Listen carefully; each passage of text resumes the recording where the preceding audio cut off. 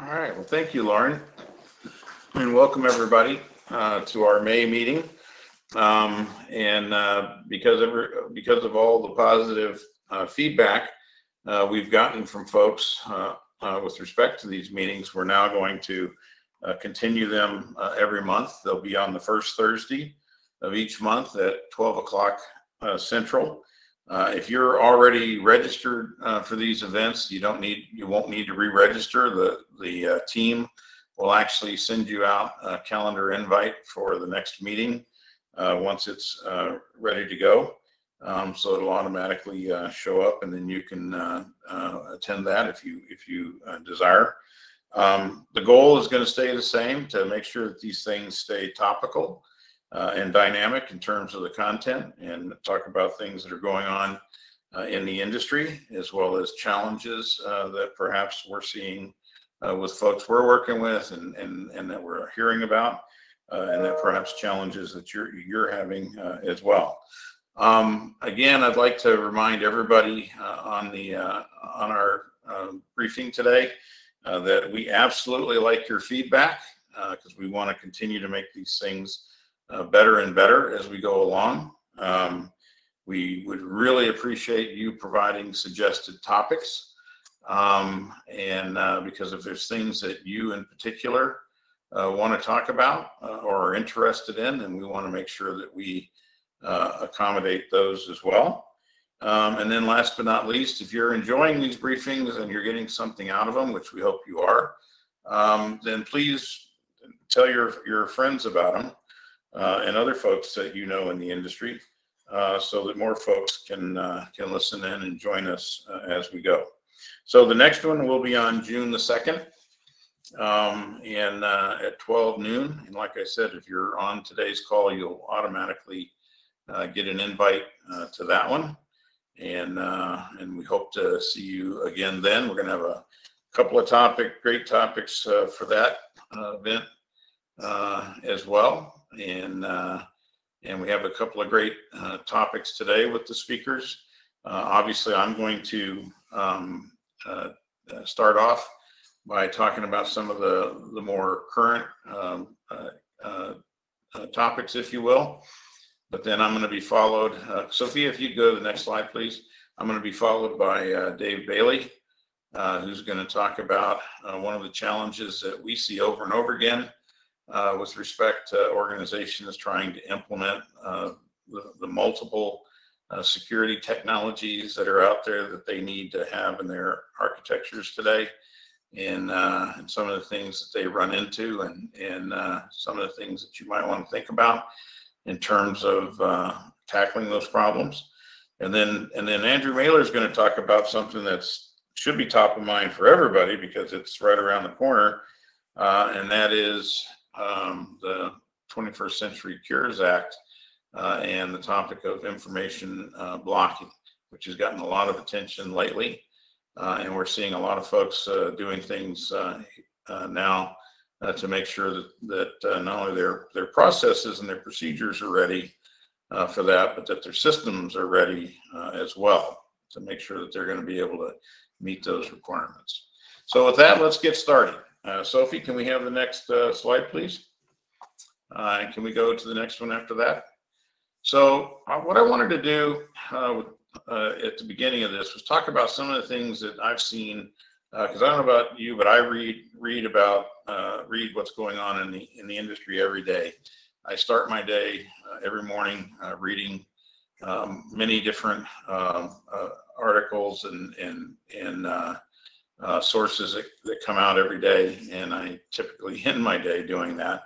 Uh, because what I have found over my 40 some odd years of doing this is that, you know, every day something new is happening. There's always new information. There's always new analytical reports.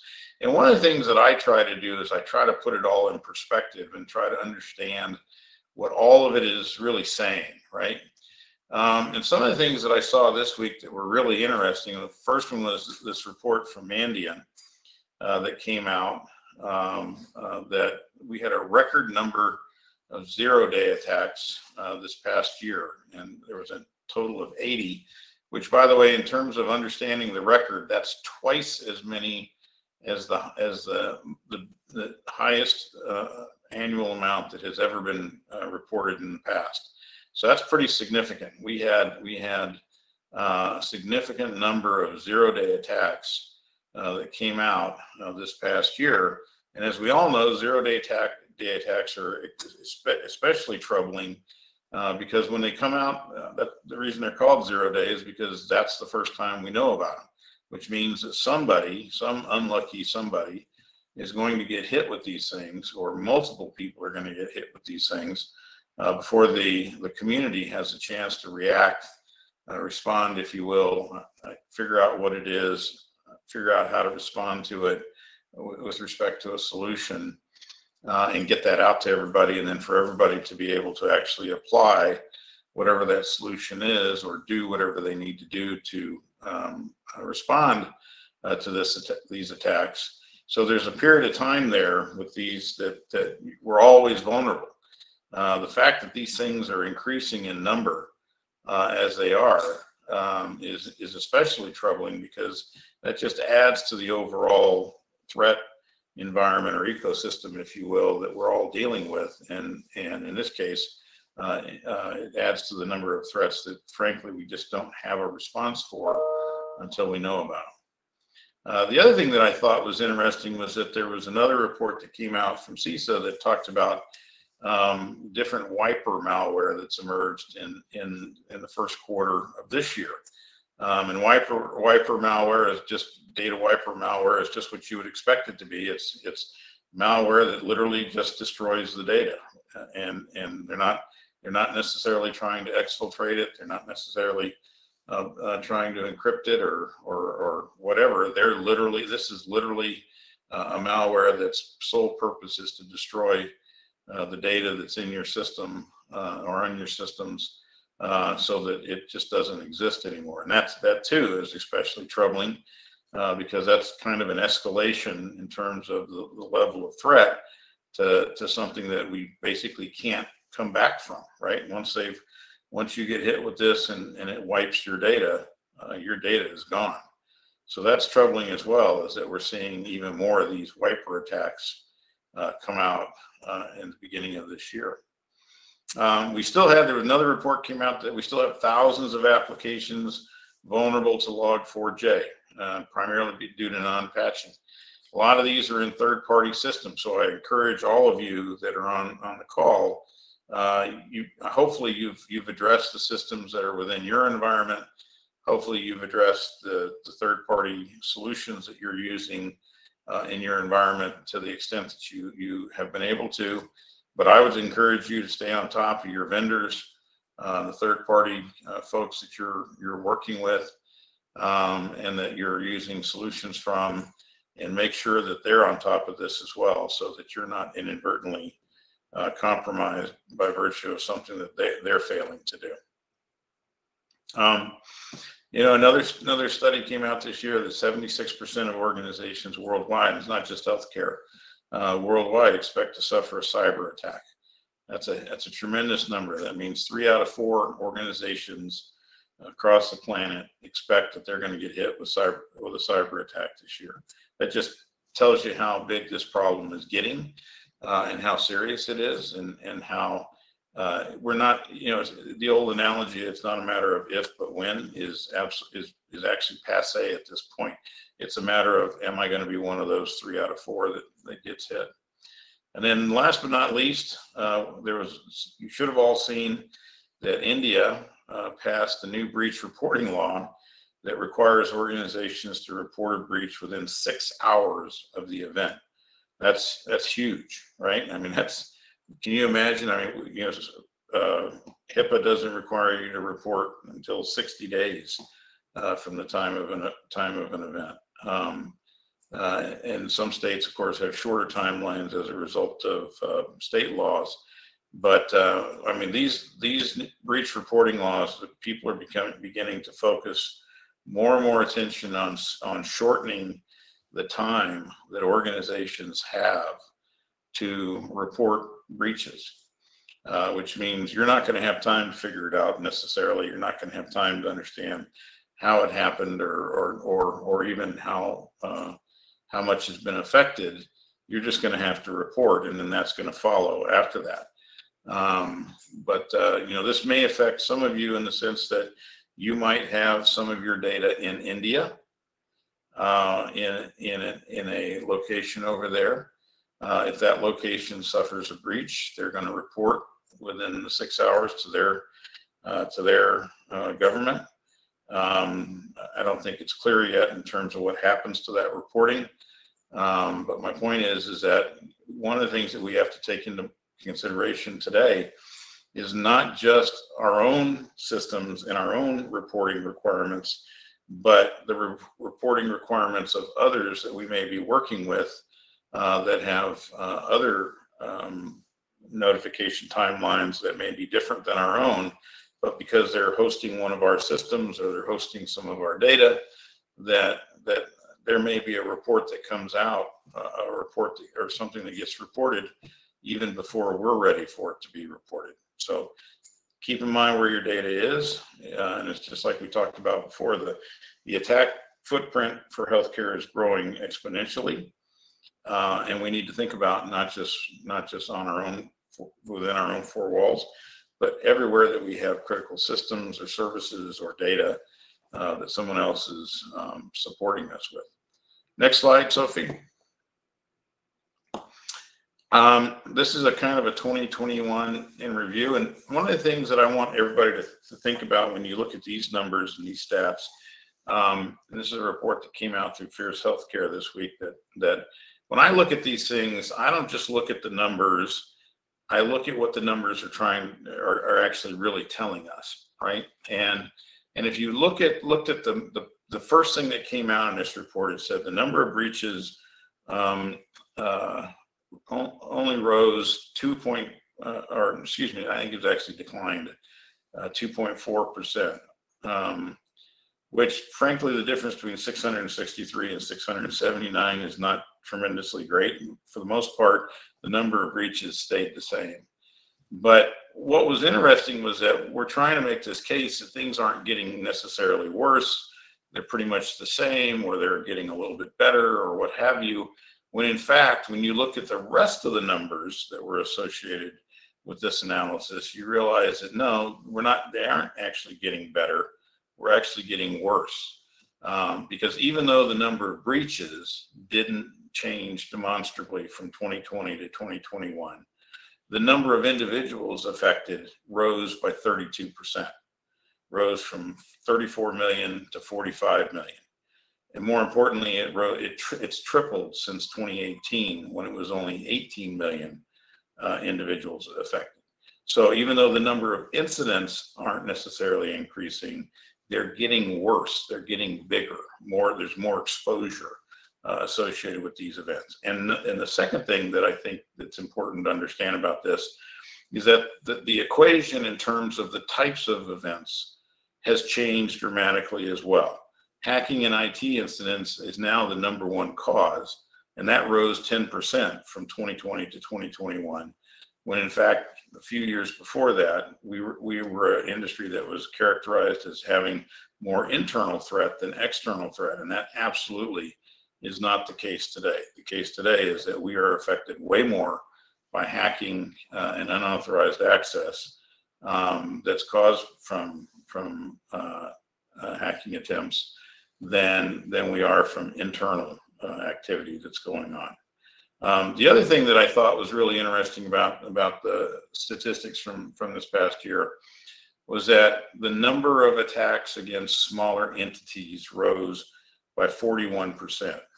So when I look at this and I say, you know, and, and, this is really, really kind of an interesting statistic in, in the sense that we know that our smaller entities are the ones that struggle the most with implementing mature security programs because of the cost of security, the cost of the resources, and the cost of the technology that's required uh, to do that well. So what you have is our most vulnerable community.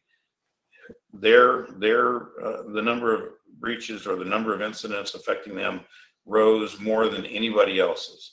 The number of incidents that, that, that involve uh, hacking uh, rose again and has become the number one issue. And the exposure, because of the types of events we're having, is much greater today than it was before, even though the number of events has pretty much stayed the same. So one of the things I would I, I recommend to everybody is that when you read these reports and you look at the data, look look at all the data, and understand what all these numbers combined are are telling us. This isn't this. We are absolutely not marking time or getting better. We're actually getting worse in terms of the overall impact of cyber on our on our community. Next slide. So and what's and the other thing that obviously came out and I, this and I just wanted to remind, you know, it's not just about cost. It's not just about the number of breaches that we have or the or the information. You know, now we've got these other issues with with respect to quality of care and patient safety, which frankly is even more more worrisome than the other two. Next slide. So I want to remind everybody, obviously the conflict over in Europe is not over. There are still reports coming out on a regular basis from from CISA um, and and uh, uh, other elements of the government with respect to the, risk of, of cyber attack or cyber events uh, uh, or third party um, uh, cyber events. So we need to stay diligent or vigilant with respect to what we're doing, what we're looking at, and and our systems um, because this isn't over yet, and hopefully, uh, you know, something won't happen, but but we need to be prepared in case it does. Next slide. And I'm not going to go through this, but again, these are the things that that they re they recommend, uh, and some of the notifications uh, sources for you. Um, bottom line is, hopefully, everybody's been doing these things already and uh, paying attention to what's going on in their environment and watching closely um, uh, things that are occurring and uh, doing some of the things that have been talked about here. Uh, but these slides are obviously provided to you. So if you haven't seen this before, um, I encourage you to take a look at it just make sure that you're it, it, matches up with the kinds of things that you're doing to pay attention to the situation in Europe and the potential risks that that, that presents. Next slide. Again, as I always say, as my as my uh, as one of our great heroes in the Marine Corps, Mr. Pull, Mr. Puller would say, you know, let's be go on the offensive. Let's let's be ready for these guys. Let's understand the risk. Let's understand the threat. Uh, let's understand ourselves and our and where our weaknesses are.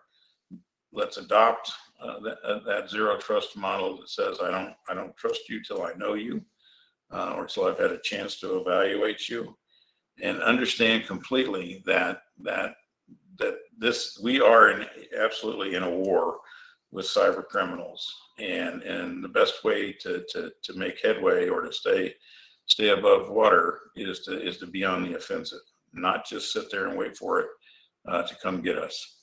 Next slide. So with that i'd like to turn it over to uh, uh, our next two speakers First up is going to be Dave Bailey. Uh, and so, Dave, you take it away. Hey, thanks, Mac, and good afternoon, good morning to everybody. Uh, glad I could be here today to uh, talk about uh, successful technology implementation. Next slide, please. I really uh, look to this quote when when I think of technology implementation, and it's by Thomas Edison, and it says, "Opportunity is missed by most because it is dressed in overalls and looks like work. And where where that rings true is generally speaking, there is while a lot of people tried to convince uh, technology and security leaders that there is an easy button out there. There is no easy button when it comes to to technology implementation, and and uh, you have to put the work in in order to make it successful. Uh, next slide. So what I what I have here, um, what you're looking at is the controls out of the NIST cybersecurity framework, and there's a dotted line on the right hand side. Anything to the left of the dotted line um, we consider to be non-conforming, and anything to the right of the of the of the dotted line is, is something that that we consider to be conforming when we do risk assessments. And uh, if it is to the right, it means that you know you have a process in place, it achieves its purpose, and it's typically well defined. Uh, anything on the left side of the line is there's something with an application of some incomplete set of activities. And when, when you look at this is a combination of all of the uh, assessments that we performed in 2021. Uh, if you look at the lower end to the left-hand side, you, you're, you're going to see controls there that are heavily, you know, reliance upon technology. But it isn't just the technology that supports them. It's also the people and the process in order to say that you have a process, it can, it can achieve its purpose and, and, and it's well defined. So it, you know, as, as, as, you look down that that left hand side, you've got information protection, asset management, identity management, security continuous monitoring. Those things are you know heavy reliance upon upon security technologies in, in order to be successful. Go ahead, next slide in addition to our uh, NIST cybersecurity assessment, this is just a different look at, at the risk assessment when we look at our, our technical security assessment. And, and we've got 25 uh, control categories in that. And you know, same same process as, as you as you look to the left, there's there's things that are are identified with an incomplete set of activities that that rely heavily upon technology tools implementation and you know, certainly when you deal with DLP, when you deal with log management, vulnerability management, um, you know, things that, uh, you know, perform the, the blocking and tackling in order to make you safe in your environment. Go ahead, next slide. All right, some common observations. Uh, I, I, think some of the roadblocks and what leads to, as I like to say, the perfect storm um, is there, there you know, there's three themes that that we can generally see and, and, and point out is is why potentially something could be unsuccessful or put you at risk. You know, what are the things that uh, that could potentially put you at risk in your organization? Well, uh, total the the total cost of ownership is generally not determined. Those are things that can uh, that can lead to to higher risk in an environment. And and really, what that means is you have technology that that uh, not supported uh, by the appropriate FTEs, uh, and there's a lack of understanding of what the operational impacts to the organization is when that technology is implemented. The second one is uh, partial or incomplete implementation, and and we do see this a lot. And I know, um, you know, some some on the phone that have responsibility in, in security teams and IT teams, you know, can relate that that you know you you have a technology that has say five major capabilities but when it was installed, only one of those capabilities was implemented, and, and the other four that uh, that are there are, are, not yet implemented or or not mature. The uh, the last common observation that we see is is around, and and I will say this: uh, solutions are intentionally not effective, and intention doesn't necessarily mean harmful or, or mean that you're doing something wrong. It's just the the nature of what occurs inside of not understanding total cost of ownership. This is where you have a technology like a SIEM, but you don't have 24 by 7 monitoring of that SIEM, or you don't have all of the uh, feeds that's required in order to give you the visibility to make that effective.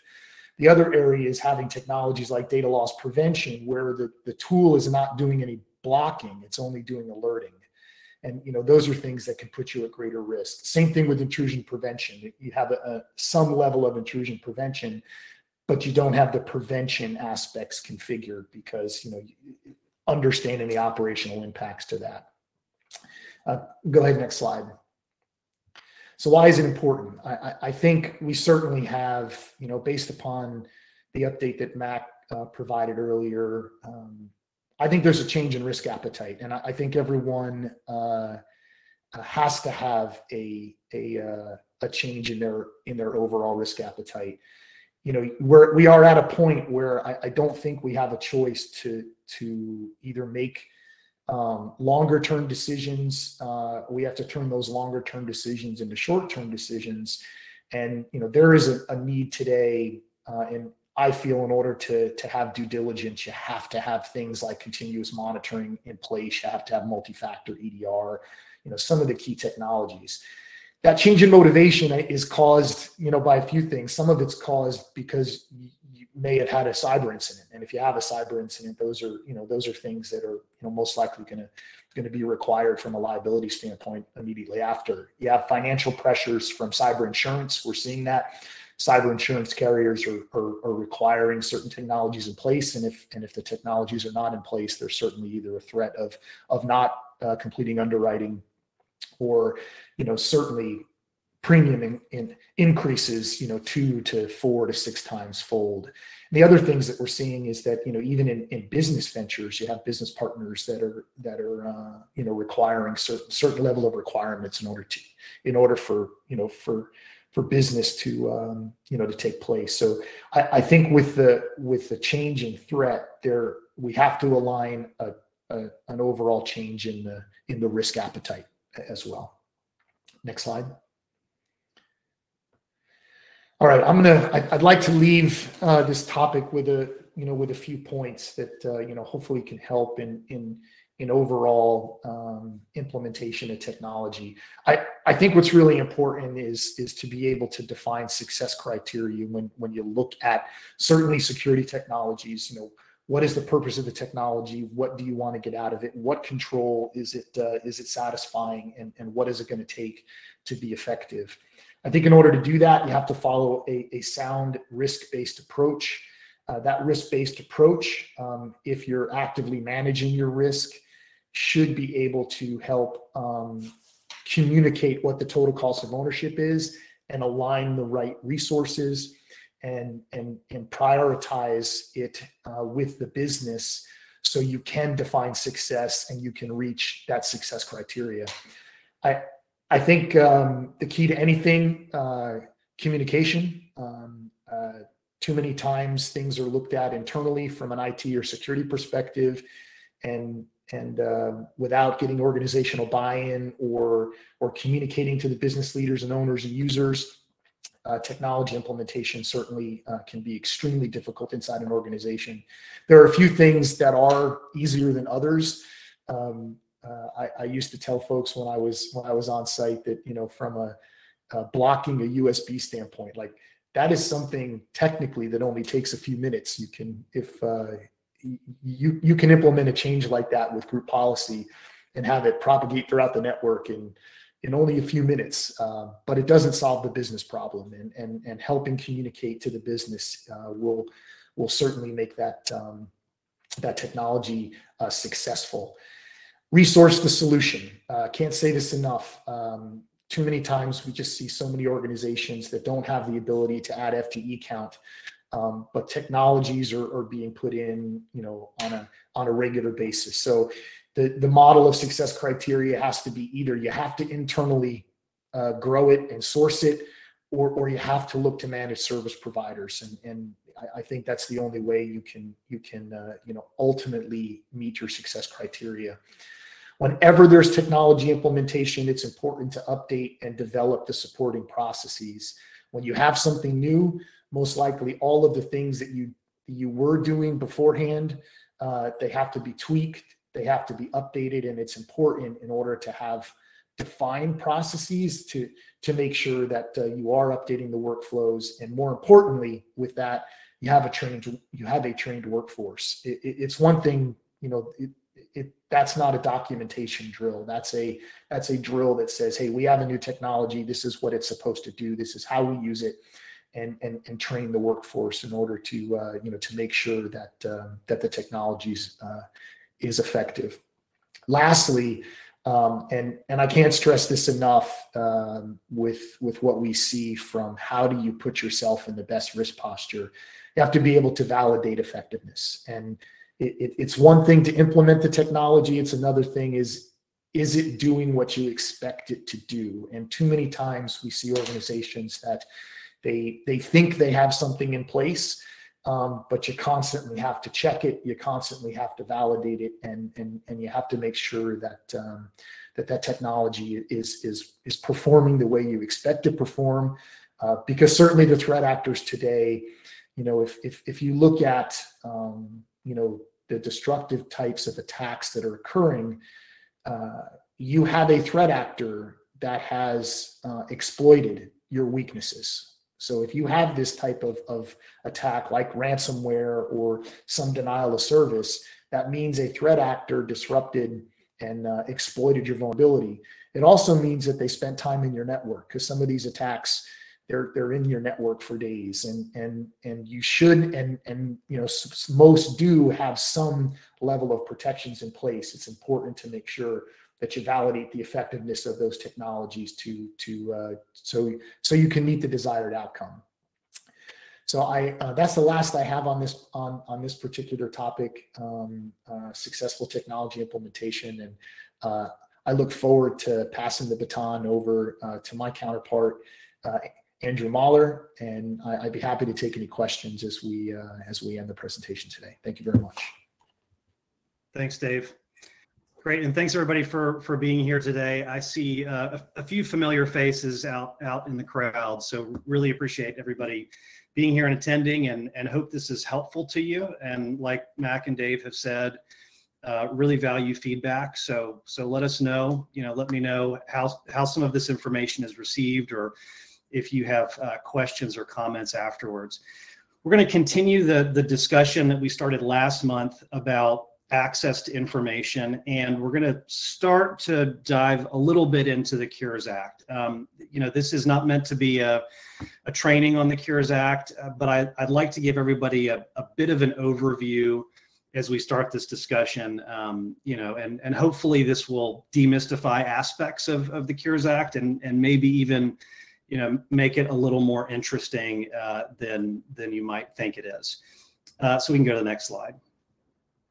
So this is a quote directly from the director of policy at the Office of National uh, of the National Coordinator within HHS. ONC is is really the group that is going to be enforcing uh, much of the information blocking and interoperability rules that that I'll talk a bit about today. I just really like this quote because I, I think it's you know it, it's timely and it's it's nice to see certain you know government agencies at least thinking a bit proactively about technology. And here she's saying you know look we send email we we buy airline tickets we're doing all this stuff from our from our phones. And you know and even some of the tasks like our online banking it's going to involve sensitive data. It's transmitted through these applications uh, and using certain types of privacy and security controls but what about health information? You know, how, how are people able to securely access their information in the same way that you know you can you know go to your banking app and and make transfers or, or withdrawals or check your balance? Onc hhs as a whole really wants to help push uh, the healthcare community in that direction.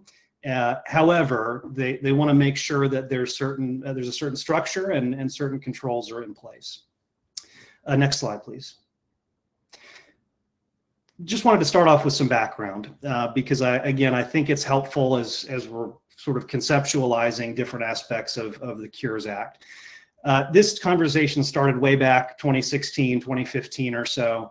And finally, in March of 2020, HHS issues two separate final rules uh, on interoperability. And the first one is the one that I'm going to really focus on today. And you know, the, the interoperability and patient access piece below, we'll, we'll continue that discussion uh, as, we, as we continue with these cyber briefings.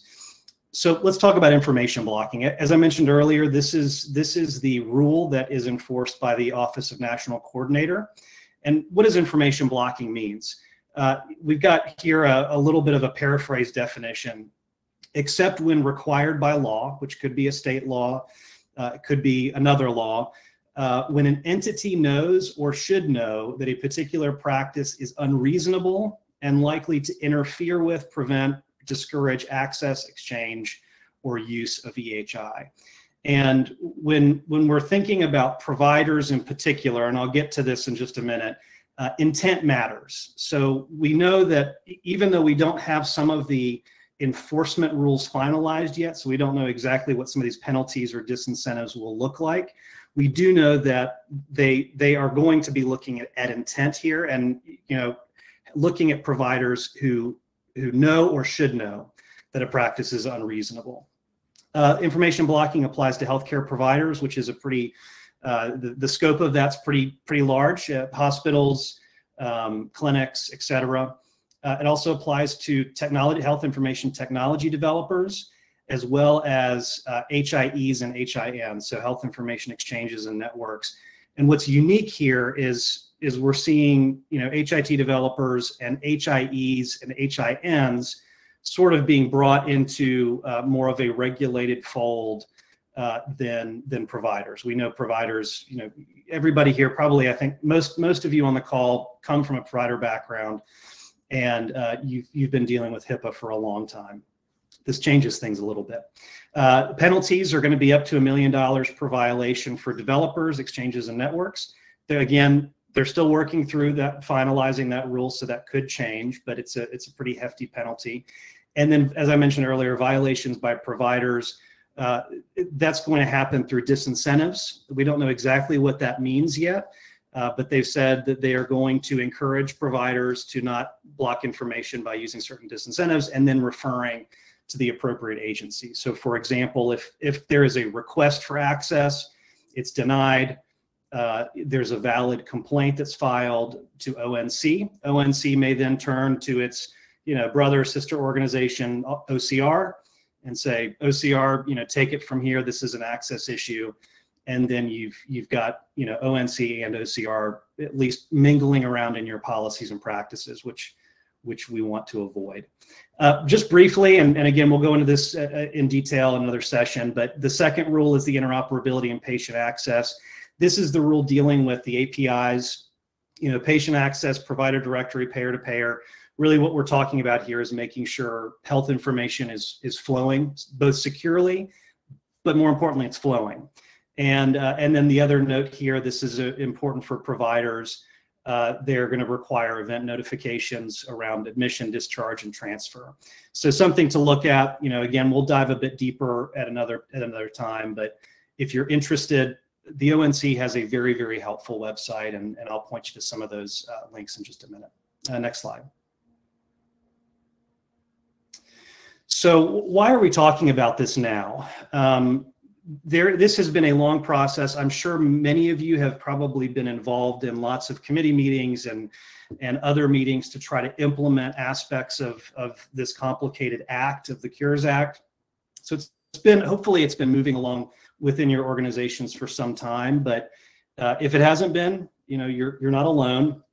Um, many many organizations are really grappling, figuring out exactly how to implement aspects of this. But here you can see these are the the applicability uh, dates and timelines here, starting in 2020, and really what we're focused on today is uh, is the is the very last sort of yellow bubble at the end of 2022 which says on and after October 6, 2022. The EHI definition no longer limited to the data in uh, the US CDI. So we have a what we have here, at least you know, without knowing what EHI is and, and US uh, CDI is at this point, we know at least that that they are expanding the definition of what is going to be regulated data under uh, under this act. So let's if we go to the next slide, let's talk a bit about EHI and uh, and USCDI. So USCDI, this is this is really an initiative that finalized the transition from from the uh, common clinical data set to a new type of a data set called the USCDI. I, I, probably very uh, went over my head, probably goes over many of your heads, but uh, but those of you in IT, this this hopefully is or billing reimbursement. Hopefully this is very familiar to you. The USCDI establishes a minimum set of data classes that are required to be inoperable in order to, to get uh, benefits, qualify for certain incentives, and it sets the foundation for sharing of, uh, of health information. So some examples of this, you know, allergies, clinical notes, lab tests.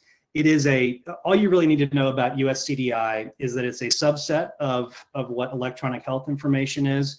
And the reason why ONC even spoke about USCDI and EHI is because they wanted to give people an opportunity to get used to the information blocking and interoperability aspects. They wanted to give them a smaller subset. You know, many organizations are already transmitting this data, and uh, and so they really wanted to help people sort of build up to uh, to to what they eventually will need to do. As I mentioned earlier, before October of this year, uh, EHI, it's limited to those US CDI elements. Um, and like I like I said a minute ago, just building off of that, limitations was established to create a transparent, predictable starting point. Uh, this this language comes directly from from ONC. Uh, so what's an example of this? What, where where would we, we maybe see you know USCDI or EHI? Um, one example that's come up before, and, and those of you who have heard Marty talk, she is she's mentioned this one as well. Uh, scanned images. So you know under uh, under the the US CDI framework, scanned images like you know X-rays and uh, MRIs, those sorts of things, uh, may not may may not be part of the uh, the USD. Uh, I'm sorry, the US CDI elements, but could be protected health information or EHI. So there are some there are some examples of documentation, you know, that that providers would need to uh, would need to be able to make accessible or transfer after October of this year that maybe they didn't before. So just some things to think about there, and and happy to sort of think with, you know, those of you who have questions about this, think through other examples uh, after the session. Uh, next slide, please. So what is EHI? EHI is electronic protected health information. And this is where uh, ONC uh, starts to get into a, um, what I would say is maybe a very confusing way of trying to define something. Uh, so ONC says EHI is PHI, and it references HIPAA, but then it says regardless of whether the group of records are used or maintained by or for a covered entity, with a couple exclusions. So what, what does that mean? Um, well, what it means is that HHS and, and ONC are essentially opening up uh, the door to data that was not regulated uh, in terms of access to information under HIPAA that is now going to be regulated under the Cures Act. So one example might be a, a provider who, a healthcare provider who doesn't uh, bill insurance or conduct standard transactions, maybe a chiropractor, for example, somebody who would meet the definition of a provider and who is not subject to HIPAA. Um, you know, other examples might be a, a healthcare component of a or a non-healthcare component of a covered entity. So, for example, you know, uh, those of you who maybe are involved in clinical research, that may be part of uh, of your healthcare component. It may be PHI, or depending on what type of organization you are, like a university, it may be part of your hybrid entity and carved out. This brings it in. So the, the, the Cures Act starts to bring in all of this EHI uh, that is now subject to the information blocking rule that, uh, that really was not part of the discussion uh, in, in the HIPAA privacy, security, or breach notification rules. Next slide, please. Um, I'm going to go through these next slides sort of briefly, but again, happy to answer any questions about them. So who's subject to this, uh, to, this information blocking rule? Uh, the big one, healthcare providers, um, again, hospitals, clinics, uh, et cetera. Uh, they are going to be subject. Uh, health information networks or exchanges are going to be subject. So those groups usually, you know, they, they exist through Medicare, Medicaid funding uh, within the state to help transfer information about patients, uh, sometimes for public health, sometimes for treatment, uh, and then H- health IT developers. And what's interesting about the definition here is that you can be you can be an actor in multiple ways. So you could be a provider and a developer, because the IT developer definition says that it could be a uh, you know it's it's a health IT developer is an individual or entity that develops or offers. so if you think about what does offering mean? Uh, offering could mean offering your EHR to, to other entities or organizations. So something that you'll really want to think through, you know, as you're doing this analysis and assessment of what kind of actor you are, because like I mentioned earlier, there's there's going to be different penalties, uh, and uh, and and you'll want to have have those kinds of questions and issues as part of your uh, your risk analysis or risk assessment that you're doing, uh, you know, throughout the year. Next slide, please. Okay, so what we want to know here, and again, not intended to go into you know training around information blocking, but wanting to give an overview. There's seven different uh, types of information blocking, so I'll go through them, and and then you feel free to dive deeper, ask us afterwards. Practices that restrict authorized access, exchange, or use under a state or federal law and this and then we get it gets sort of interesting implementing health IT in non-standard ways that are likely to substantially increase the burden of accessing or using EHI. I'll give an example of that in just a minute. Limiting or restricting the interoperability of health IT, uh, implementing health IT in ways that are likely to restrict access, exchange, or use with respect to exporting. So you can you can sort of see how they're uh, they're they're really starting to to help us figure out what information blocking is. We can go to the next slide. Acts that lead to fraud, waste, or abuse. Uh, restrictions on access, exchange, and use uh, in contracts.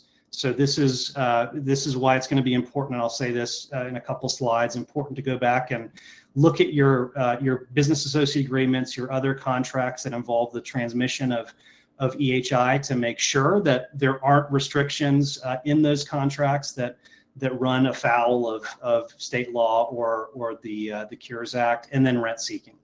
So, what's an example of uh, of some of where we could see an information blocking practice? Uh, here at the bottom, um, so we have an EHR developers uh, who has a patient portal.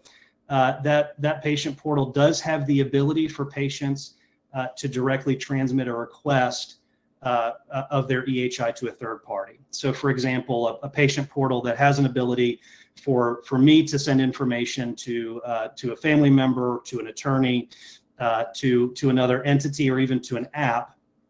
However, even though that capability exists, the provider has not enabled that function.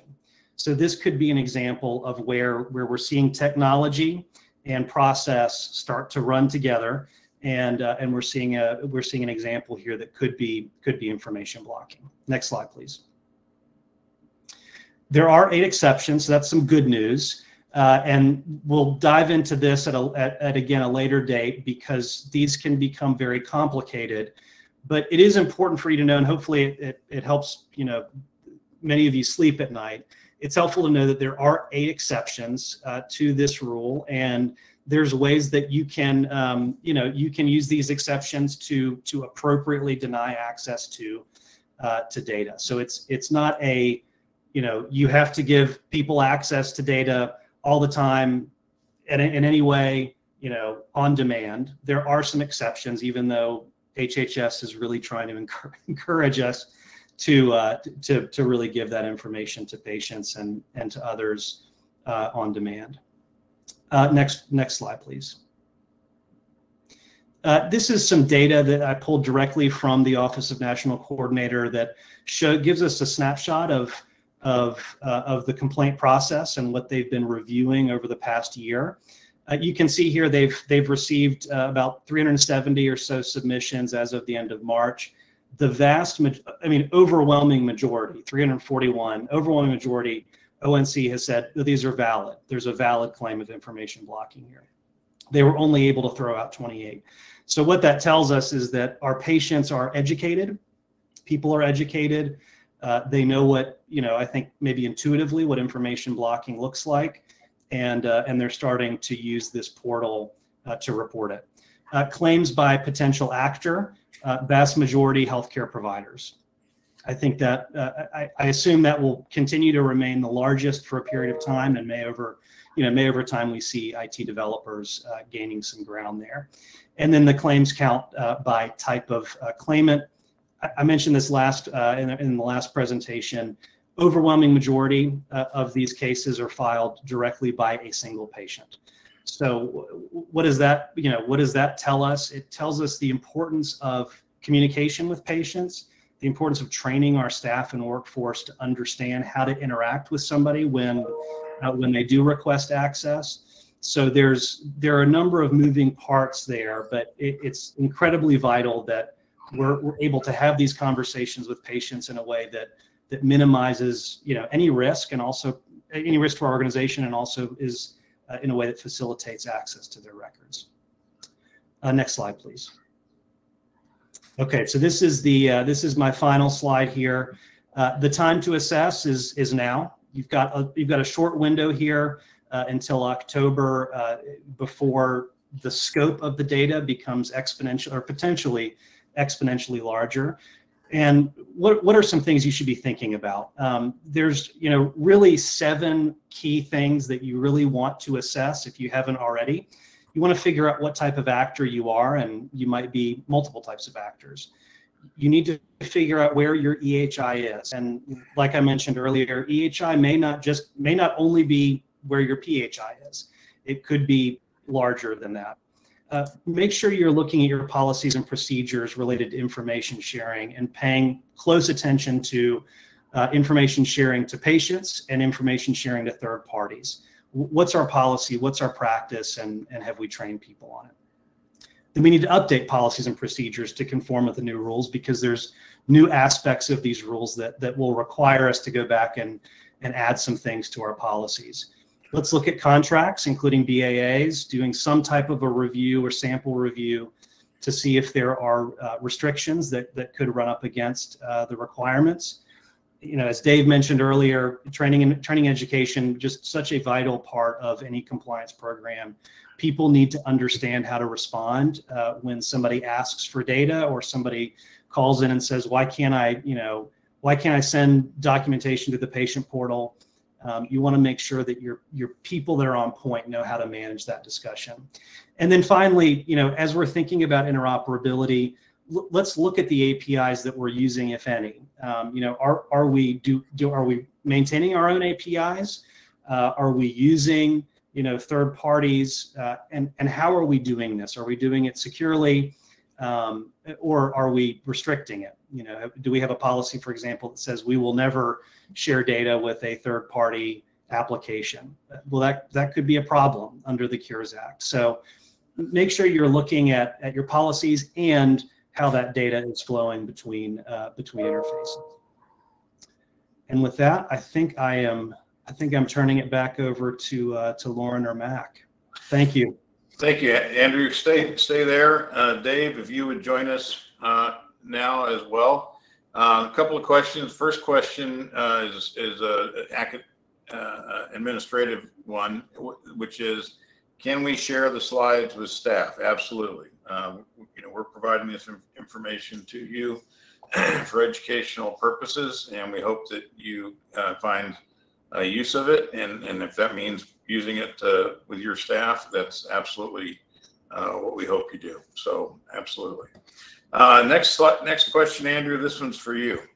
Great. It says if you're a large eligible provider health center and moving off a legacy EHR that is not 21st century uh, Cures Act compliant, but will be in the summer of 2023, meaning I'm assuming the new system. Uh, will will there be allowance, allowances allowed? And I think this gets to the timelines, Andrew, in terms of when do they have to be compliant with the act with respect to information sharing and what happens if they're in the in the process of a transition when that occurs? Yeah, I, I, I think it's a it's a great question. Um, there there are a number of of unknowns. Um, the there, the first big unknown is what are the penalties going to look like, um, and the second big unknown is you know are they going to treat the EHRs differently than they're going to treat the providers? The, these are two things that ONC has been kicking around, and there's some some actually very interesting guidance and FAQs on their site. Um, what I would say is, you know, first, probably a good idea to talk to your general counsel if they're not already involved, and make sure that they're very involved in this conversation.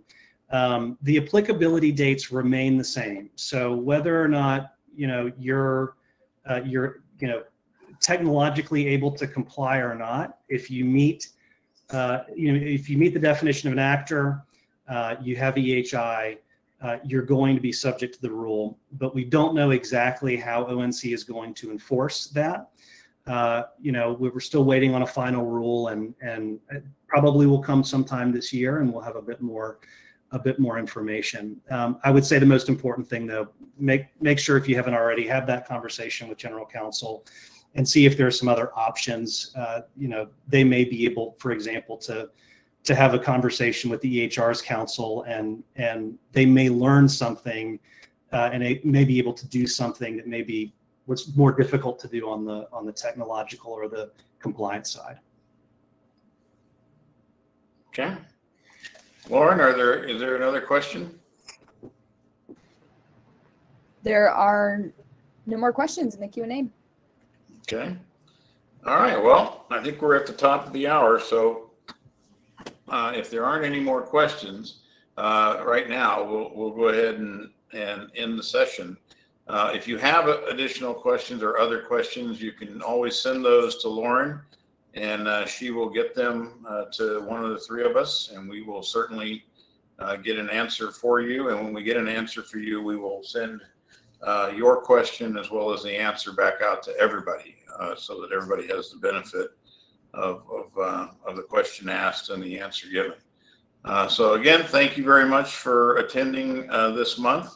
We look forward to seeing you on June the 2nd. Um, and we're going to have a little bit different um, topics on, on June the 2nd. One of those topics is going to be on medical device security with our lead medical device uh, security engineer, uh, who has been uh, both on the clinical engineering side as well as the security side. Uh, and I forget what our, our second, oh, no, I, I don't. It's Andrew. Andrew's going to be back. And Andrew's going to take those eight exceptions with respect to information uh, blocking, and he's going to take you through uh, a, a session on each and every one of those and give you examples of those so that you uh, really understand what those exceptions are and how they may apply. So we look forward to seeing you uh, next month in June, and uh, thank you for coming. Thank you. Okay, Lauren, it's up to all all yours. All right. Thanks, everybody.